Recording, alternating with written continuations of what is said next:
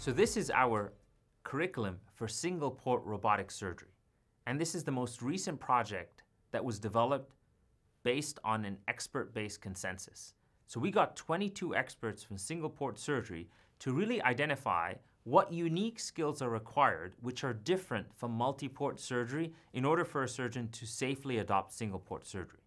And the result of that was not a single model, but it was a series of models that goes from basic to advance to procedural models.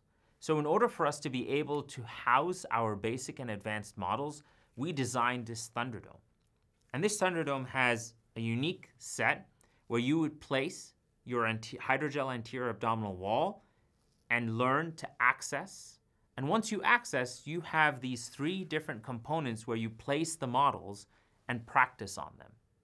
And so let's start off with the models that are placed in this Thunderdome. So first, you have your access, which is really just an abdominal wall, a hydrogel abdominal wall, but it has a fascial layer inside, and they're made of variable level of thickness based on different patients that have different thickness of their abdominal walls.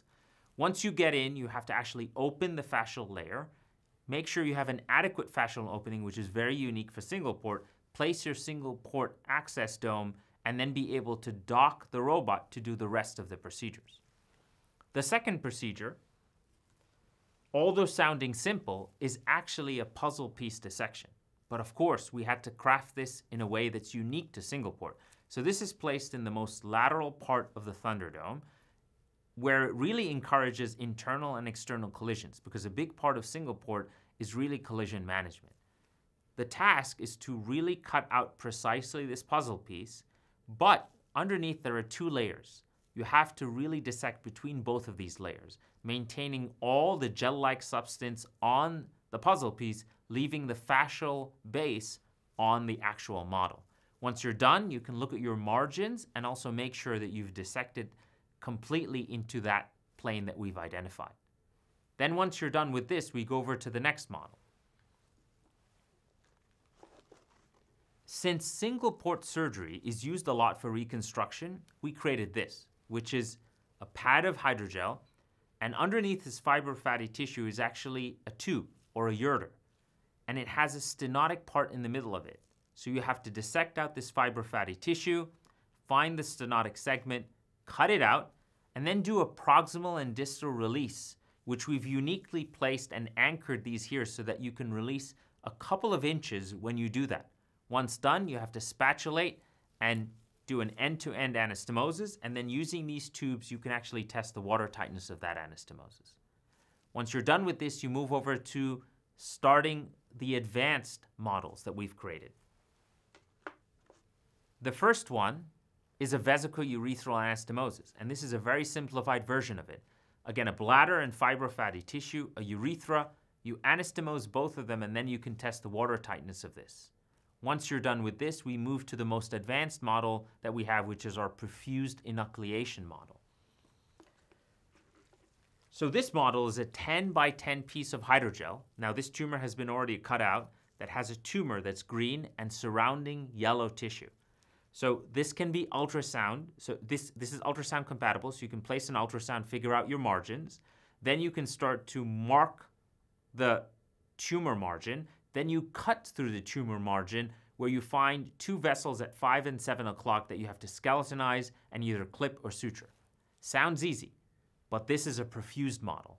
Two tubes in the back here perfuse the entire base, so here's where you have to learn how to suction for yourself or self-suction, something that we use in the operating room, a device called Rosie. There are multiple alternatives to that, or we just connect a tube to a pump. So this teaches you how to be able to handle resection of a bloody tumor while being able to handle the suction yourself. Good luck practicing. So as you can see in the video here, this is the Thunderdome with all the models attached to it. So first here, the trainee is starting to really access the model, makes an incision, and then makes a fascial incision. Now, of course, you know that our fascial incisions are mostly staggered, and they have to be of adequate size. And so this teaches you how much really of an incision you need to create to prevent collision of the instruments as they're being inserted. You then learn to place the single port dome, which is not that difficult, but requires a little bit of understanding of the technical issues components related to it. There's an internal component and then there's an external component.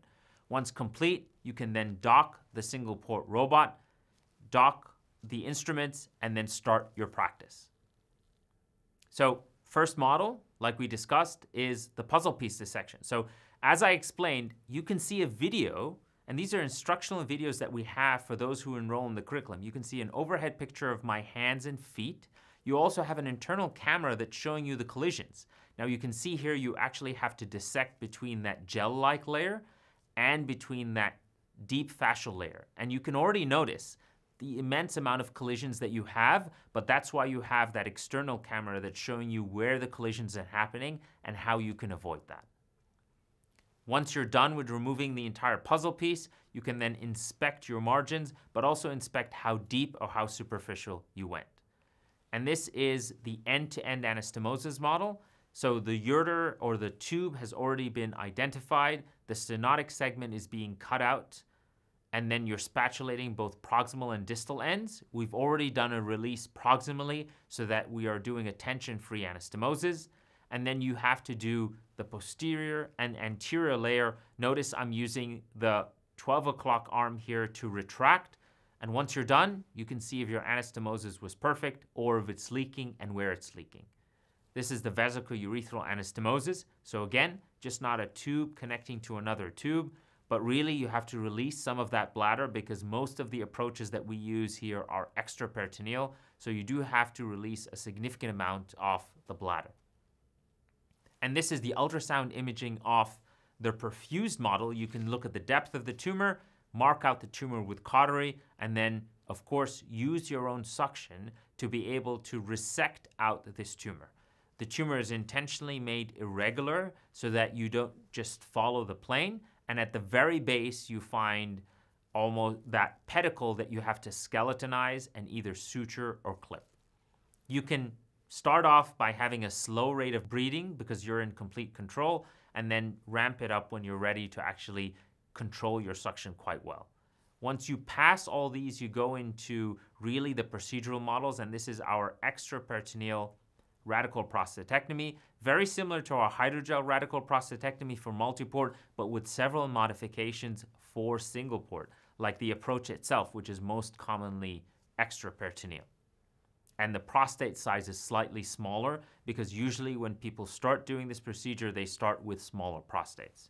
It has all the intricacies of our radical prostatectomy model with the different layers of dissection, as well as the different layers in the bladder. You can see both the mucosa and the musculosa. You can use cautery in this procedure, of course. All you need to do is just attach a cautery pad. And then, of course, our perfused partial nephrectomy model on our training model, which is our upper pole retroperitoneal model.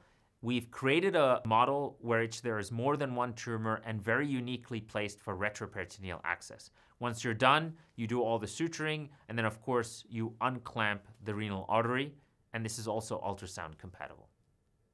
This is just a debrief showing you at the end of the simulation trainees actually removing the specimen. You can see they actually peeked into the intraperitoneal cavity and how they violated that slightly, but you can also see that they can do a post simulation autopsy to really evaluate their um, simulation and see what they did good, but more importantly, what they did bad. They then extract the kidney and are able to look at their margins, but also assess how deep or superficial or if they got close to any critical structures.